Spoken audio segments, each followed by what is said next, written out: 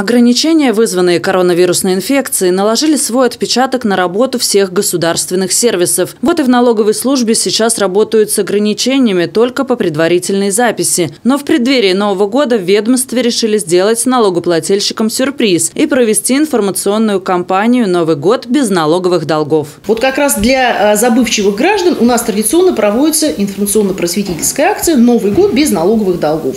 В этом году мы очень плотно взаимодействуем с э, отделением отделениями МФЦ Рязанской области, и э, в отделениях МФЦ, и в любой налоговой инспекции можно узнать о своей задолженности и получить сразу же квитанцию для уплаты налога. Причем есть одна особенность. Э, мы сейчас, так же как и отделение МФЦ и э, налоговой инспекции, работаем Э, в режиме только предварительной записи. Но для получения такой услуги предварительно записываться не нужно. Всем зеленый свет, желающим узнать о своих долгах и получить квитанцию. Категория должников, как говорят в УФНС, традиционно. Со всеми штрафниками ведется индивидуальная работа. Ну а тех, кто забыл, мера воздействия шире. Ну, в первую очередь направляются требования забывчивым владельцам налогооблагаемого имущества.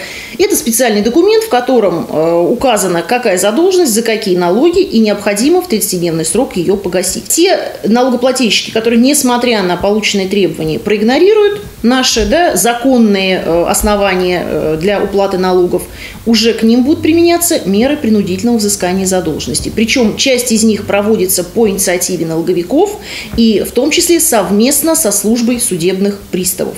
В определенных случаях может быть наложен арест на имущество и его взыскание. Пожалуй, самая действенная мера – ограничения выезду за границу. Как говорит нам статистика, 80% должников, которым грозит запрет на пересечение границы, попав в такую ситуацию, сразу же оплачивают все долги. Конечно, чтобы новогодний отдых не был испорчен, в УФНС предлагают заранее закрыть свои гештальты. Акция от налоговиков продлится до конца января. Анна Герцовская, Станислав Кудряшов, телекомпания «Город».